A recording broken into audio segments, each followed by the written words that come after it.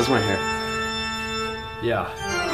Bro. A little bit more of a specific topic today. We're talking about the New York Islanders and kind of the Tampa Bay Lightning and kind of the Toronto Maple Leafs. But really, the Eastern Conference leaders right now are kind of amazing when you look at who's there and how they got there. The surprise is the New York Islanders under Barry Trotz right at the top of the Metropolitan Division. How did they get there? How do you feel about it? And why are Islanders fans talking so much crap? It's a little too early to do that. Yeah. Yeah, guys. Um, the Maple Leafs got a lot of star power. Lightning got a lot of star power.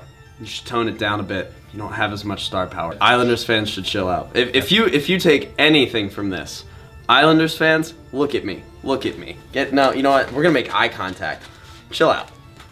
But let's be honest there. Barry Trotz coaching is now fortified as maybe one of the best coaches in, the NHL. He did this with Nashville for so many years, and now he's doing it on the island with a team that really started out the season with no hope whatsoever after Tavares got traded. But it does show you that one man does not make a team. And funny enough, the Toronto Maple Leafs are right underneath the Islanders in the table or the standings, depending on what country you're in. But it's an interesting part of the season heading into the All Star break. What do you think? The Islanders still going to be there at the end of the year? Toronto and Tampa, are they going to rise up and continue to take over?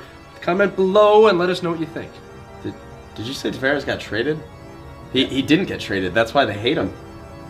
Tavares signed with the Toronto Maple Leafs in the offseason, and that's why the Islanders don't like so, it, so now I have no, to. I cut, just, uh, yeah, now I have yeah. to cut here, yeah. and then I gotta like. I just gotta like jam I, I, in another wish, piece of just in the middle of a monologue. I, wish I could say that I did that on purpose, but I forgot. Gotta thank you all again for liking these videos. If you want more of these, please make sure to like the video and share it. It does a lot for us in terms of getting it out there, so we continue to make this great content for you. This is the most produced segment I've ever done. Lee Elias should have been a host, not anymore. I'm out.